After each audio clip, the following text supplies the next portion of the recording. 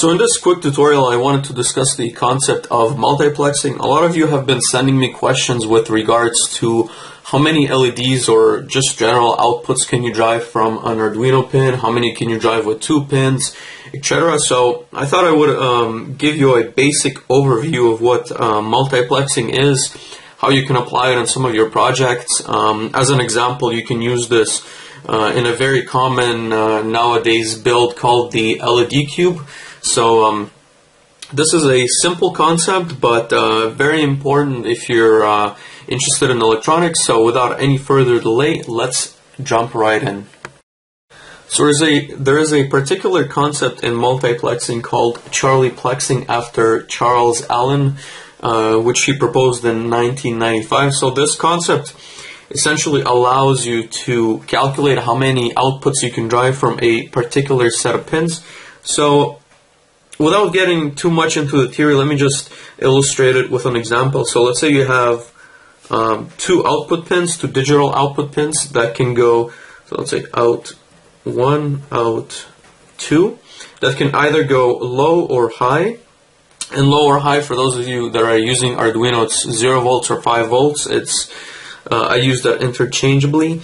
So let's create the following truth table. So output 1, output 2 right? So you can either set both of them to low, you can set one to high, you can set the other one to high, or you can set both of them to high, right? So what does that tell you? That tells you that in essence, you uh, would be able to have four different states with two pins, but more commonly, uh, the way you would drive the um, LEDs is like so. So you would have two LEDs in between uh, back to back.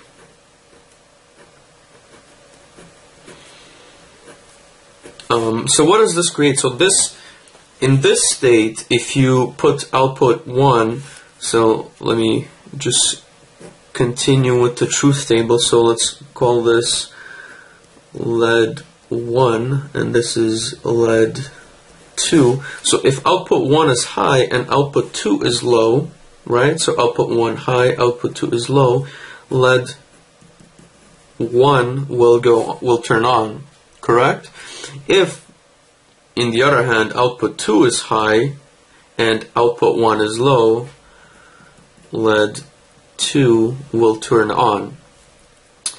Um, in the case of low low, so what you can do is imagine it like this. You have nothing for the other two states. So let's say you wanted to add a, a third LED, right? So LED 3, you would want to either put it on 1 or 2. Let's say you want to put it on 2, so this would be low, so you would need a uh, high. In that case, you draw it like this. Resistance, and then you would go to a 5 volts right? So this is 5 volts or high if you prefer. So if output 2 is low LED 3 uh, will light on given that output 1 is low. Be careful that if you set this to low and this to um, high then both this LED and LED 2 will light up. So this is the basic concept of Charlieplexing. Um, if you add a third pin, uh, let's eliminate this for a second. So if you add a third output 3, you can add LED here, you can add LED here. So you can add a pair of LEDs between each two pins, but now that you have three, you can also add two LEDs going from output 1 all the way down to output 3. So in essence, you would be driving um, six LEDs with this concept. And there's a, on the wiki page, there is a um, very helpful uh, sheet that tells you how many LEDs you can drive with a given set of pins. And just to quickly give you an idea, with uh, 4 you can drive 12.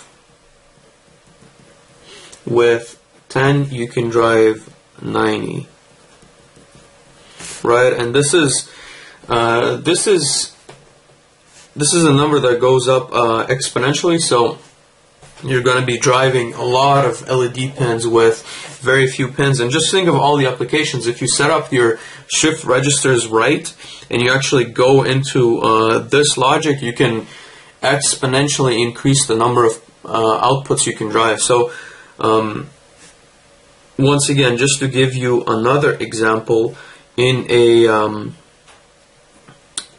in an LED cube, you would have uh, LEDs essentially lined up like so. So you would create a a sort of a um, two-dimensional matrix. Just quickly draw this out. Make sure I don't make any mistakes in my drawing.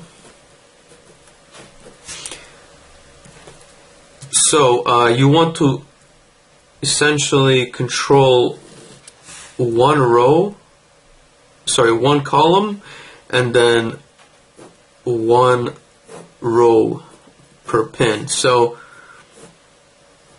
and I'm omitting the resistances here.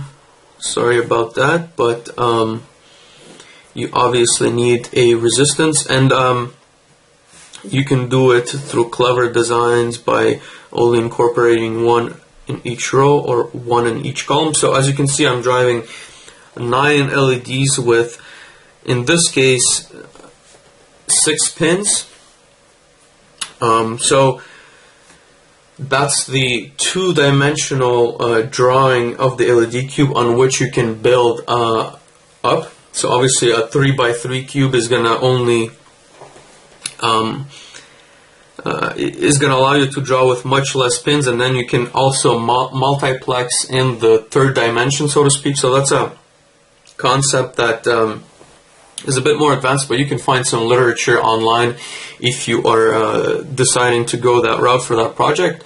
So that's it for multiplexing. Let me know if you have any questions. Let me know if you want to see a demo, but I, I think it's fairly straightforward and you can plug in a couple of LEDs on your breadboard, test it yourselves, and uh, let me know how you uh, how it turns out. And if you have any difficulties, once again, let me know in the comments. Thank you guys for watching. Make sure to subscribe. Take care. Bye.